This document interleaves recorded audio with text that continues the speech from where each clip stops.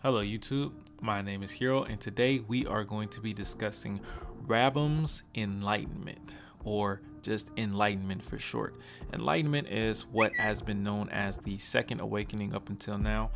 Enlightenment is pretty much what allows you to combine two abilities together in order to make a stronger ability in most scenarios or a more useful utility wise ability.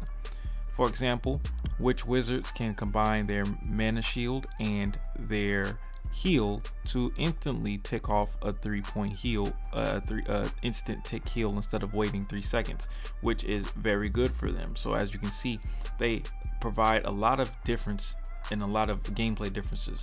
And also, you can only choose one of the two that are available right now at a time so you can't have two you can only have one. So that's going to make a lot of build diversity as some of these aren't just so cut and dry as one being completely better than the other. So there's going to make some build diversity there which is very cool.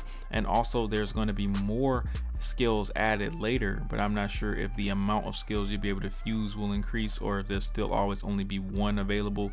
Who really knows? We're gonna have to wait and see but once again this is a very interesting system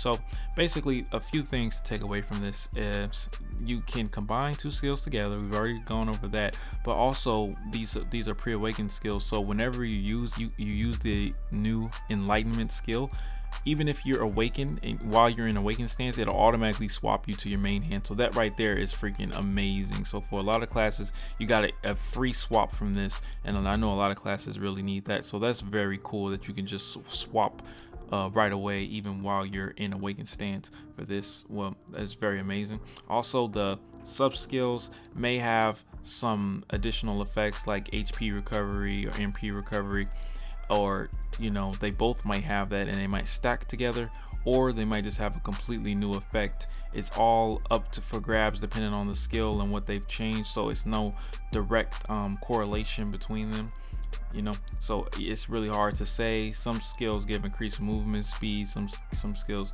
give hp recovery some skills add super armor. It's very hard to say. It depends on which skill you're looking at. So it's going to take some time for us to get some translations in and as well for everyone to test them out and see how they like them Another thing you have to know is that the the skill that you are using to create cannot be used anymore. So if you're so pretty much the skills right now is you have to sacrifice a skill to unlock uh, Rabam's Awakening. So for example, Warrior Warriors is Ground Smash plus either uh, Ground Roar or Piercing Spear.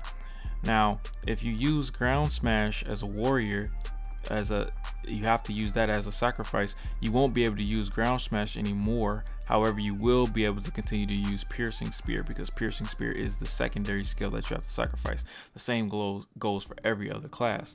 So there's still you're still gonna be able to use the second skill. You just won't be able to use the first one. You have to use a lot of skill points for this. So this is something that's to increase the pretty much the need for skill points for the throughout the remainder of the game because a lot of people are pretty much capped out on skill points at this point especially if you're above 60 you pretty much only putting skill points in at right now just to do some cool stuff but now there's going to be some uh, a need to get some skill points in for most people especially considering this is going to uh, take up a lot of skill points. You're going to need to get every single skill uh, the skills in order to fuse them and then getting the fusion itself takes skill points. So yeah this is a very cool feature that's been added guys. I'm very very happy with it so far. I can't wait to see what they are able to do with it. If you guys like this video please hit me with a subscription. And let me know in the comment box how do you feel about this system? It's your boy hero. See you guys next time. Peace